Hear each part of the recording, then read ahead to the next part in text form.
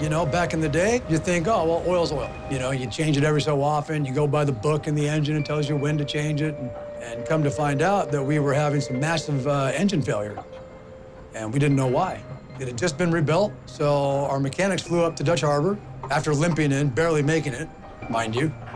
And they're sitting in the engine room, and had the thing apart, and everybody's kind of looking around, they're scratching their heads like, I don't know what to tell you. We don't, they, we, they didn't know what was going on. So one of the mechanics had a, uh, his son with him. He was a 15-year-old intern. And while these, while these skilled mechanics are sitting around wondering what's going on with my engine, the kid looks at me and goes, what kind of oil you put in this thing? I told him it was a competitor's product. And he goes, no, I used to be using Delo 1540 in these engines. My lost time and money was probably up to a quarter of a million dollars at this point from the lost fishing time. So I'm, at this point, I'm pretty much willing to try anything. So we put the Delo in, I changed out my tank, everything was Delo, and a few years go by, everything ran without an issue. Uh, we go to do a total overhaul on the main engine. My mechanics were pulling the parts out, and the parts were basically looking like the day they went in.